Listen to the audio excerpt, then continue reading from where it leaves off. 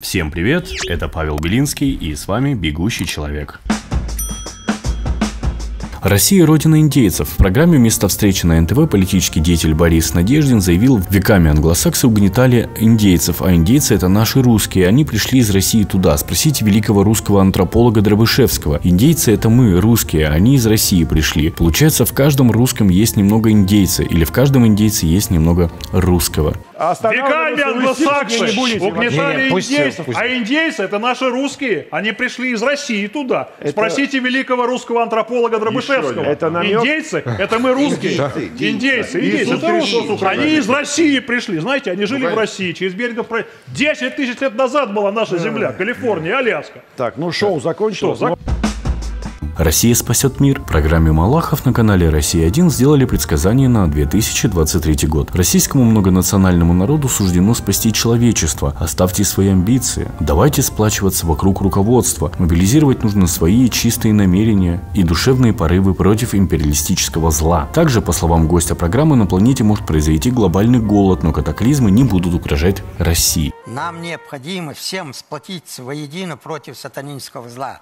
Нам, российскому многонациональному народу, суждено спасать человечество. Я это вам истинно говорю. Оставьте свои амбиции. Давайте сплачиваться вокруг руководства. Мобилизовать нужно необходимые свои чистые намерения, душевные порывы против империалистического зла, которые ради наживы могут поступиться даже нашей планетой.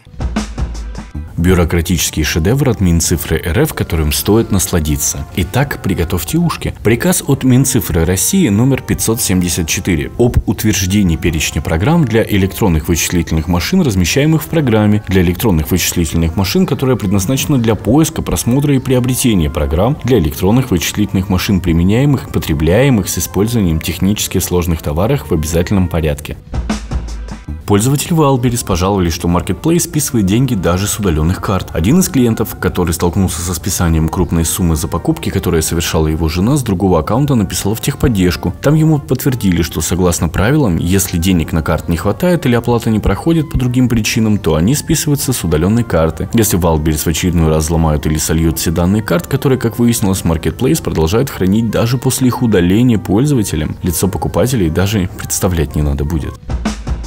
Телеканал «Звезда» показывает кадры рабочей поездки Сергея Шойгу в Ижевск. Так трогательно залепили наклейкой калашников название японского токарного станка DMG CTX Alpha 300 желто-синей изолентой. Покажите мне хоть один российский или советский станок, который в данный момент производит хоть что-то, кроме говна элементарной херни с классом допуска нисколько. И желательно станок должен быть на советской детальной базе, а то как-то нечестно получается. Россия в данный момент не имеет ничего для создания даже частично станка станочного оборудования с классом точности хотя бы 4 знака после запятой. А это уже на мировой арене, мягко говоря, неконкурентное оборудование.